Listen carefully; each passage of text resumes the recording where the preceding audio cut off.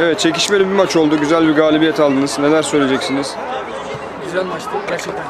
Çok çok iyi mücadele. Çok iyi ettik demiyorum. Çok çok iyi mücadele ettik. Bütün takım arkadaşlarımı tebrik ediyorum. Gerçekten hepsi canı gönülden oynadı. Grubun liderini yenmek de ayrı bir zevk. Karşı takım arkadaşlara tebrik ediyorum. Bu galibiyeti ilk önce iddia rakip ailesine armağan ediyorum. Gerçekten güzel bir platformda bizi buluşturdular. Daha sonra Çevitur ailesine tekrardan sonsuz teşekkürlerimi iletiyorum. Onlara da bu galibiyet armağan olsun. Ayrıca bugün eee, benim yeğenlerimin, dünya güzeli kızlarımın doğum günü.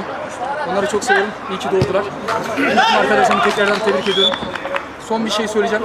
Alper kardeşime eee, bir sözümüz var inşallah. Özellikle benim sözüm var. İnşallah finali çok istiyor. İnşallah gidebildiğimiz yere kadar gideceğiz. Son golü izleyin, son Final. golü. İnşallah sonumuz final. Alper'i bırakıyorum. Evet bugün kurduğum, takım, kurduğum takımın ne kadar iyi bir takım olduğunu gördüm. E, maç maç oynuyoruz. Kadrolarımızı ona göre çıkartıyoruz. Bugün grubun liderini yendik.